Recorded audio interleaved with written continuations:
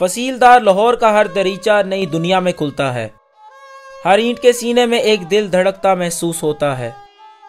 यहाँ की गली कूचों में तारीख के औराक उड़ते फिरते हैं। साहिब समात को शहर के बारह दरवाजे, अपना बारह मासा सुनाते हैं। पेश करती है हर इमारत, अपनी कहानी, खुद अपनी जुबानी। यकीन ना आए तो एक नज़र हवेली नौनिहाल सिंह पर डाल लीजिए। अस्सलाम मैं हूँ शहरियार। इस वक्त मैं एक तारीखी हवेली, नौनिहाल सिंह की छत पे मौजूद हूँ। बाकी हवेलियों के मुकाबले में ये हवेली काफ़ी हद तक अपनी बेहतर हालत में मौजूद है। खैर, यहाँ पर एक लड़कियों का स्कूल, विक्टोरिया हाई स्कूल कायम है और आइए इस बारे में आज जानते हैं। वस्त 19वीं सदी में तामीर होने वाली ये शानदार हवेली, सिख फन तामीर की बेहतरीन मिसाल है। भाटी और लोहारी दरवाजों के बीचों बीच तंग रास्ता शहर में दाखिल होता है, इसे मोरी गेट कहते हैं। कुछ ही कदमों के फासले पर इस हवेली की कुशादा इमारत, अपनी मुकम्मल हश्र सामानी के साथ जलवागर है। वसी दलान बुलंद शहनशी खुनक राहदारियाँ और बादलों से सरगोशियाँ करते बाला खाने साहिर को किसी और दुनिया में पहुँचा देते हैं। छतों पर शीशे और पत्थरों की मादूम होती कंदाकारी और दीवारों के बुझते हुए मुसवरी के नकूश, हवेली के बनाने वालों के आला जौक और माली आसूदगी की चुगली खाते हैं। चार मंजिला इमारत की चौथी मंजिल पर शीश महल हवेली के हुस्न को चार चाँद लगा रहा है। ताज़ा हवा में शहर का नज़ारा माहौल के शहर को दो चंद करने के लिए काफ़ी है। यह हवेली सिख राज के बानी, महाराजा रंजीत सिंह के पोते, नौनिहाल सिंह की खास जाती रहायश गाह थी। इसकी तामीर 1830 के लगभग हुई। नौनिहाल सिंह सिख सल्तनत का तीसरा हुक्मरान करार पाया। मगर वक्त ने इसे राज सिंहासन पर बराजमान रहने का ज़्यादा मौका नहीं दिया। अक्टूबर 1840 में वो अपने बाप खड़क सिंह को एक तरफ़ करके खुद तख्त पर बैठ गया। अभी जामे उम्र भरने भी ना पाया था कि कफे दस्ते साकी छलक गया।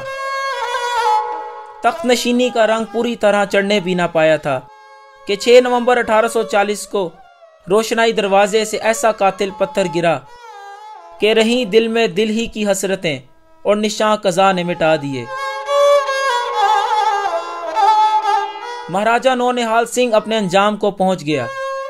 यूँ दरबारी नजूमियों और ज्योतिषियों के सारे हिसाब किताब, सितारों की चालें और जायचों की वो खुशखबरियाँ धरी की धरी रह गईं, जो उन्होंने नौनिहाल सिंह के तख्त नशीन होने पर सुनाई थीं कि वो अपने दादा महाराजा रंजीत सिंह का हकीकी वारिस और सिख सल्तनत का दूसरा ताकतवर तरीन हाकिम साबित होगा। ए बसा आरज़ू के खाक नौनिहाल सिंह महाराजा रंजीत सिंह का ग्रैंड सन या पोता था और बड़ा प्यारा पोता था। महाराजा रंजीत सिंह ने उसको काफ़ी पैसा दिया और उसने यहाँ पे लाहौर के बिल्कुल अंदरून लाहौर में एक खूबसूरत हवेली बनाई। इसकी फ्रेस्को इसके ऊपर बने हुए चारों कोनों पे जो कमरे हैं, जो बारह दरी टाइप इसका स्ट्रक्चर है। कमाल अमेजिंग नानक शाही ईंट का इस्तेमाल किया गया है। ये अगर देखें तो नानक शाही है और लकड़ी का काम जो है पूरे पिलर्स जो हैं वो सीमेंट या जैसे आमतौर पर हमें सिख आर्किटेक्ट में नज़र आता है, सीमेंट या गाज चूने का काम नज़र आता है। यहाँ पे लकड़ी का काम है और जालियाँ और ख़ूबसूरत और ऊपर शीश महल जिसमें कृष्णा जी को बड़े खूबसूरत अंदाज में जो है वो पेंट किया गया है। तो ये लाहौर के, लाहौर क्या ये, लाहौर की एक पहचान है ये? बड़े रचाव से बनाई गई नौनिहाल सिंह की हवेली, अंग्रेज़ी दौर में लड़कियों के स्कूल में बदल दी गई। यहाँ आजकल विक्टोरिया गर्ल्स हाई स्कूल के नाम से बच्चियों का तालीमी इदारा जारी है। इस वक्त यह स्कूल सरकार की मलकियत है। और महकमा तालीम के जेर इंतज़ाम चल रहा है। हवेली की पहली तीन मंजिलें स्कूल के जेर इस्तेमाल हैं। इस टाइम हम हवेली नौ निहाल सिंह में हैं और यहाँ पे एक फ़ोटो वॉक ऑर्गेनाइज़ की गई है टीडीसीपी की तरफ़ से। तो आई थिंक गवर्नमेंट को भी ये चाहिए कि इसके ऊपर कुछ स्टेप्स ले और एटलीस्ट कैमरा और टूरिज़म को प्रमोट करने के लिए कोई इकदाम होने चाहिए गवर्नमेंट की तरफ़ से। सुना है कि इसका तय खाना भी है, मगर सरे दस्त वो बंद है। जबकि बाकी इमारत के शिकस्ता होते हिस्सों से सदा बुलंद होती है कि यह अपने दौर में शहर की सबसे शानदार हवेली होगी। लाहौर में जो हवेली है ना आर्ट के हवाले से या शूट के हवाले से वो ये है, लोहारी गेट के अंदर। भाइयों वाला मैदान से मशहूर विक्टोरिया स्कूल और इसके अंदर आर्ट के हवाले से डिज़ाइंस वगैरह और आर्किटेक्ट सब कुछ मतलब बहुत अच्छे हैं। और बॉल मूवी और तान ड्रामा, इस तरह के शूट्स यहाँ पे काफ़ी हो चुके हैं और अभी भी होते हैं। आम पब्लिक का दाखला ममनू है। अलबत् फ़िल्मों और ड्रामों वाले यहाँ आते और हवेली की आँखों में बसी लुटी महफिलों की धूल को अक्स बंद करते हैं।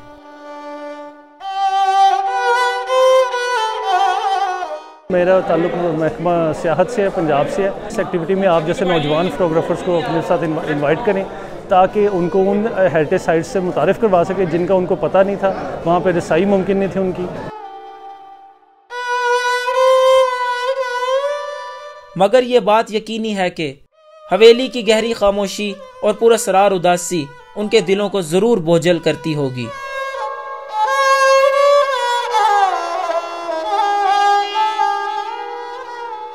हो नहीं सकता कि कोई साहिब दिल यहाँ आए और उदास हुए बगैर लौट जाए।